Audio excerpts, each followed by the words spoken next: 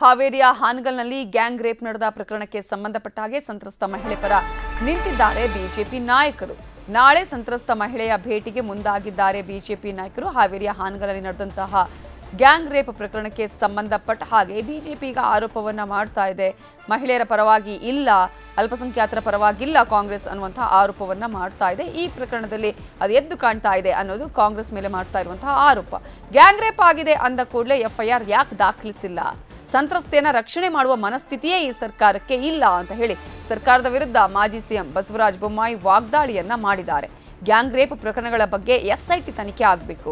ಯಾವುದೇ ಸಮುದಾಯಕ್ಕೆ ಸೇರಿದ್ರೂ ತನಿಖೆ ಆಗಬೇಕು ಅಂತ ಹೇಳಿ ರಾಜ್ಯ ಸರ್ಕಾರಕ್ಕೆ ಮಾಜಿ ಸಿಎಂ ಬಸವರಾಜ ಬೊಮ್ಮಾಯಿ ಆಗ್ರಹವನ್ನ ಮಾಡಿದ್ದಾರೆ. ಹಾವೇರಿಯಲ್ಲಿ ಕಾಂಗ್ರೆಸ್ ಅಧಿಕಾರಕ್ಕೆ ಬಂದರೆ ನಮ್ಮನ್ನು ಯಾರೂ ಮುಟ್ಟೋದಿಲ್ಲ ಅನ್ನುವ ಭಾವನೆ ಕೆಲವು ಕೋಮಿನವರಿಗೆ ಬರುತ್ತೆ. ಹಲವರು ನೈತಿಕ ಪೊಲೀಸ್ಗಿರಿಗೆ ಇಳಿದಿದ್ದಾರೆ ಅಂತ ವಾಗ್ದಾಳಿ ಮಾಡಿದ್ದಾರೆ ಬೊಮ್ಮಾಯಿ. ಕಾಂಗ್ರೆಸ್ ಪಕ್ಷ ಅಧಿಕಾರಕ್ಕೆ ಬಂದರೆ ನಮ್ಮನ್ನು ಯಾರು ಕೂಡ ಮುಟ್ಟೋದಿಲ್ಲ ಅನ್ನುವಂಥ ಕೆಲವು ವರ್ಗದ ಕೆಲವು ಜನಗಳಿಗೆ ಅದು ಬಂದ್ಬಿಟ್ಟಿದೆ. ಹಲವಾರು ಕಡೆ ದರೋಡೆ, ಸುಲಿಗೆ ಮಾಡುವ ಜೊತೆಗೆ ನೈತಿಕ ಪೊಲೀಸ್ಗಿರಿಗೆ ಇಳಿದಿದ್ದಾರೆ. ಒಬ್ಬ ಹೆಣ್ಮಗಳು ಮತ್ತು ಒಬ್ಬ ಅವ್ರು ಬೇಕಾದವರು ಒಂದು ಹೋಟ್ಲಲ್ಲಿ ಇದ್ದರೆ ಬೇರೆ ಬೇರೆ ಕೊಂದವರು ಇವರು ಹೋಗಿ ಇವ್ರಿಗೇನು ಸಂಬಂಧನೇ ಇಲ್ಲ. ಇವ್ರ ಜಿಲ್ಲೆಗೂ ಸಂಬಂಧ ಇಲ್ಲ, ಇವ್ರಿಗೂ ಸಂಬಂಧ ಇಲ್ಲ.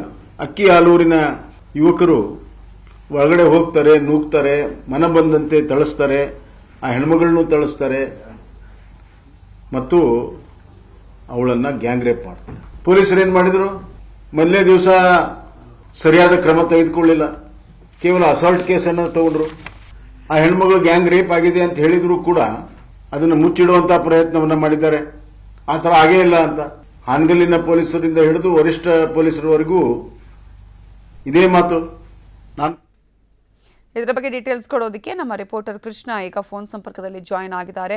ಕೃಷ್ಣ ಹಾನಗಲ್ ನಡೆದಂತಹ ಗ್ಯಾಂಗ್ ರೇಪ್ ಪ್ರಕರಣಕ್ಕೆ ಸಂಬಂಧಪಟ್ಟ ಹಾಗೆ ಈಗಾಗಲೇ ಕಾಂಗ್ರೆಸ್ ಮೇಲೆ ಬಿಜೆಪಿ ಅನೇಕ ಆರೋಪಗಳನ್ನು ಮಾಡ್ತಾ ಇದೆ. ಇನ್ನು ಕಡೆ ಅಲ್ಪಸಂಖ್ಯಾತರ ಮಹಿಳೆಯರನ್ನ ಕೂಡ ರಕ್ಷಣೆ ಆಗುವಂತಹ ಕೆಲಸ ಆಗ್ತಾ ಇಲ್ಲ ಅಂತ ಹೇಳಿ ಬಿಜೆಪಿ ಇದನ್ನು ಯಾವ ರೀತಿಯಾಗಿ ಅಸ್ತ್ರವನ್ನಾಗಿ ತೆಗೆದುಕೊಳ್ತಿದೆ? ಖಂಡಿತವಾಗ್ಲೂ ನಮಿತಾ, ರಾಜ್ಯದಲ್ಲಿ ಇತ್ತೀಚೆಗೆ ಮಹಿಳೆಯರ ಮೇಲೆ ದೌರ್ಜನ್ಯ ಹೆಚ್ಚಾಗ್ತಿದೆ ಅನ್ನೋದು ಪ್ರತಿಪಕ್ಷ ಬಿಜೆಪಿ ಆಪಾದನೆ ಆಗಿರುವಂತದ್ದು ಈಗಾಗಲೇ ಬೆಳಗಾವಿಲಿ ಮಹಿಳೆ ವ್ಯವಸ್ಥೆ ಪ್ರಕರಣ ಆಯಿತು. ಅದಾದ್ಮೇಲೆ ಅಲ್ಲಿ ಒಂದು ಕೂಡ ಪ್ರಕರಣ, ಅಂದ್ರೆ ಮೂಗಿಗೆ ಕತ್ತರೆ ಹಾಕುವಂತ ಕೆಲಸ ಕೂಡ ಆಯಿತು. ಇದೀಗ ಇಲ್ಲೊಂದ್ ಕಡೆ ಹಾವೇರಿಯಲ್ಲಿ ಪ್ರಕರಣ ಆಗಿದೆ. ಈ ಒಂದು ಪ್ರಕರಣವನ್ನು ಕೂಡ ರಾಜ್ಯ ಬಿಜೆಪಿ ಅತ್ಯಂತ ಗಂಭೀರವಾಗಿ ತೆಗೆದುಕೊಂಡಿದೆ.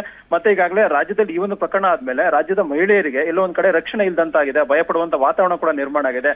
ಆ ಕಾರಣಕ್ಕೋಸ್ಕರವಾಗಿ ಸರ್ಕಾರ ಈ ಒಂದು ವಿಚಾರದಲ್ಲಿ ಸೀರಿಯಸ್ ಆಗಿ ತೆಗೆದುಕೊಳ್ತಾ ಇಲ್ಲ ಅನ್ನೋ ಒಂದು ಆಪಾದನೆಯನ್ನು ಕೂಡ ಮಾಡಿರುವಂತದ್ದು ಮತ್ತೆ ಈ ಒಂದು ಪ್ರಕರಣದಲ್ಲಿ ಎಲ್ಲೋ ಒಂದ್ ಕಡೆ ರಾಜ್ಯ ಸರ್ಕಾರನೇ ಶಾಮೀಲಾಗಿದೆ ಅನ್ನುವಂಥದ್ದು. ಈಗಾಗಲೇ ಅಲ್ಲಿ ಏನು ಅಲ್ಪಸಂಖ್ಯಾತರ ಯುವಕರೇನಿದ್ದಾರೆ ಅವರು ಇಲ್ಲೊಂದ್ ಕಡೆ ಅಲ್ಪಸಂಖ್ಯಾತರ ಮಹಿಳೆ ಮೇಲೆ ಗ್ಯಾಂಗ್ ರೇಪ್ ಆದಂತ ಸಂದರ್ಭದಲ್ಲಿ ಅಲ್ಪಸಂಖ್ಯಾತರ ಒಂದರಷ್ಟು ಏನು ಓಟುಗಳನ್ನ ಕನ್ವರ್ಟ್ ಮಾಡ್ಕೊಡ್ತಾರಲ್ಲ, ಆ ತರದವರ ಪರವಾಗಿ ನಿಂತಿದೆ. ಆ ಒಂದು ಯುವಕರ ಪರವಾಗಿ ಅಲ್ಲಿರ್ತಕ್ಕಂಥ ಸ್ಥಳೀಯ ಮಟ್ಟದ ಕಾಂಗ್ರೆಸ್ ನಾಯಕರಾಗಿರ್ಬೋದು ಮತ್ತೆ ರಾಜ್ಯ ಮಟ್ಟದ ಕಾಂಗ್ರೆಸ್ ನಾಯಕರು ನಿಂತಿದ್ದಾರೆ. ಆ ಕಾರಣಕ್ಕೋಸ್ಕರವಾಗಿನೇ ಅವರ ವಿರುದ್ಧವಾಗಿ ಸೂಕ್ತವಾದ ತನಿಖೆಯನ್ನ ಮಾಡ್ತಾ ಇಲ್ಲ ಮತ್ತೆ ಸೂಕ್ತವಾದ ಕ್ರಮಗಳನ್ನು ಕೂಡ ವಹಿಸ್ತಾ ಇಲ್ಲ. ಆ ಕಾರಣಕ್ಕೋಸ್ಕರವಾಗಿನೇ ಇಲ್ಲ ಒಂದ್ ಕಡೆಗೆ ಒಂದ್ ರೀತಿ ನ್ಯಾಯಾಧೀಶರ ಕಮಿಟಿ ಮುಖಾಂತರವಾಗಿ ತನಿಖೆಯನ್ನ ಮಾಡಬೇಕು ಮತ್ತೆ ಸಾಧ್ಯವಾದ್ರೆ ಎಸ್ಐಟಿ ತನಿಖೆಯನ್ನ ಮಾಡೋದ್ರ ಮುಖಾಂತರವಾಗಿ ಶಿಸ್ತು ಕ್ರಮವನ್ನ ಜರುಗಿಸಬೇಕು. ಇಲ್ಲ ಆದಲ್ಲಿ ಇಲ್ಲ ಒಂದ್ ಕಡೆ ನ್ಯಾಯಾಧೀಶ ಕಮಿಟಿಯನ್ನು ಮಾಡೋದ್ರ ಮುಖಾಂತರವಾಗಿ ನಿವೃತ್ತಿ ನ್ಯಾಯಾಧೀಶ ಕಮಿಟಿ ಮಾಡೋದ್ರ ಮುಖಾಂತರವಾಗಿ ಸೂಕ್ತವಾದ ತನಿಖೆಯನ್ನ ಮಾಡೋದ್ರ ಮುಖಾಂತರವಾಗಿ ಅವರ ವಿರುದ್ಧವಾಗಿ ಸೂಕ್ತವಾದ ಕ್ರಮವನ್ನ ಕೈಗೊಳ್ಳಬೇಕು ಅನ್ನೋ ಒಂದು ಆಗ್ರಹವನ್ನು ಕೂಡ ಬಿಜೆಪಿ ಮಾಡಿರುವಂತದ್ದು. ಅದ್ರ ಜೊತೆಗೆ ನಾಳೆ ಕೂಡ ಅಂದ್ರೆ ಬಿಜೆಪಿ ಮಹಿಳಾ ಮೋರ್ಚಾದ ಅಧ್ಯಕ್ಷರು ಕೂಡ ಟೀಮ್ ಏನಿದೆ. ನಾಳು ಇವತ್ತೇ ಅವೇರಿಗೆ ತೆರಳ್ತಾ ಇದೆ.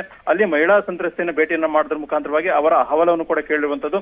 ಅಂತಿಮವಾಗಿ ಅದನ್ನ ವಿಚಾರವನ್ನ ರಾಷ್ಟ್ರೀಯ ಮಟ್ಟ, ರಾಜ್ಯ ಮಟ್ಟ ಜೊತೆಗೆ ರಾಷ್ಟ್ರ ಮಟ್ಟದಲ್ಲಿ ಕೂಡ ತೆಗೆದುಕೊಂಡು ಹೋಗೋದ್ರ ಜೊತೆಗೆ ಒಂದ್ ರೀತಿ ಕಾಂಗ್ರೆಸ್ಗೆ ಒಂದ್ ರೀತಿ ಡ್ಯಾಮೇಜ್ ಮಾಡುವಂತ ನಿಟ್ಟಿನಲ್ಲಿ ಒಂದಷ್ಟು ತಂತ್ರಗಾರಿಕೆಯನ್ನ ಮಾಡಿರುವಂತದ್ದು. ಸದ್ಯಕ್ಕೆ ಬಿಜೆಪಿ ಏನ್ ಹೇಳ್ತಾ ಇದೆ ಅಂತಂದ್ರೆ ಈ ಒಂದು ಪ್ರಕರಣದಲ್ಲಿ ಇಲ್ಲ ಒಂದ್ ಕಡೆ ಅಲ್ಪಸಂಖ್ಯಾತರ ಓಲೈಕೆ ಮಾಡುವಂತ ನಿಟ್ಟಿನಲ್ಲಿ ಒಂದ್ ರೀತಿ ಅಲ್ಪ ಯಾರು ಯುವಕ ಯುವ ಮಹಿಳೆ ಏನು ಇದಾರಲ್ಲ ಅವರ ಮೇಲೆ ಏನ್ ದೌರ್ಜನ್ಯ ರೇಪ್ ಮಾಡಿದ್ದಾರೆ. ಆ ಒಂದು ಯುವಕರ ಪರವಾಗಿ ಸರ್ಕಾರ ನಿಂತಿದೆ ಅನ್ನೋ ಒಂದು ಆಪಾದನೆಯನ್ನ ಬಿಜೆಪಿ ಮಾಡ್ತಾ ಇರುವಂತದ್ದು. Navita. Okay thank you Krishna ಡೀಟೇಲ್ಸ್ಗೆ ಕನ್ನಡಿಗರ ನೆಚ್ಚಿನ ನ್ಯೂಸ್ ಏಟೀನ್ ಕನ್ನಡ ಈಗ ವಾಟ್ಸ್ಆಪ್ನಲ್ಲೂ ಲಭ್ಯ. ಕರ್ನಾಟಕ ದೇಶ ವಿದೇಶಗಳ ತ್ರೀ ಸಿಕ್ಸ್ಟಿ ಡಿಗ್ರಿ ಸುದ್ದಿಯ ವಿವರಗಳನ್ನ ನಿಮ್ಮ ಕೈ ಬೆಳುಗಳಲ್ಲೇ ಪಡಿಲಿಕ್ಕೆ ಈ ಕ್ಯೂ ಆರ್ ಕೋಡ್ ಅನ್ನ ಸ್ಕ್ಯಾನ್ ಮಾಡಿ. ನಮ್ಮ ಚಾನಲ್ ಫಾಲೋ ಮಾಡಿ ನೋಟಿಫಿಕೇಶನ್ ಆನ್ ಮಾಡಿ.